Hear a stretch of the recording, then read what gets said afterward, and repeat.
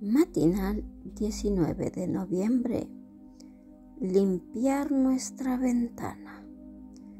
Hay velas que lo alumbran todo, menos su propio candelabro.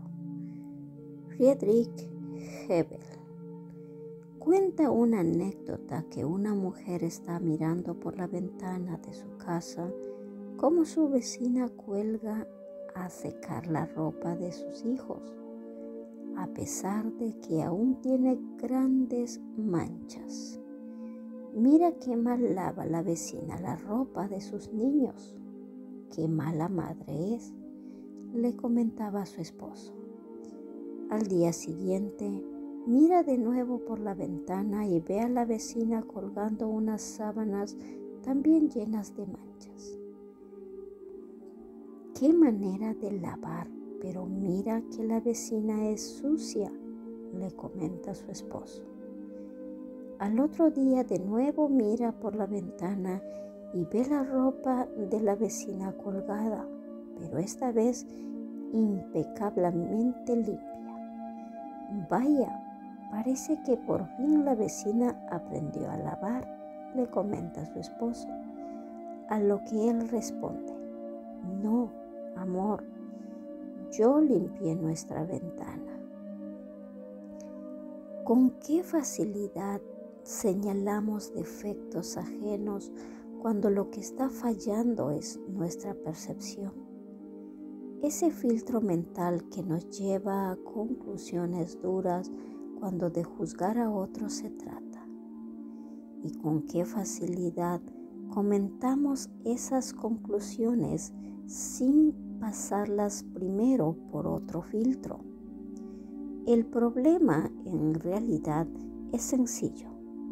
Necesitamos limpiar nuestra propia ventana. ¿Cómo? Empezando por no colocarnos a nosotros mismos por encima de los demás, como si fuéramos superiores, cuando en realidad, comparativamente hablando, el problema del otro es apenas una mota de polvo respecto a la viga que hay en nuestro ojo. Y es que creernos más que los demás es vivir tras un cristal terrible. Necesitamos que alguien nos lo limpie. Ese alguien es Jesús.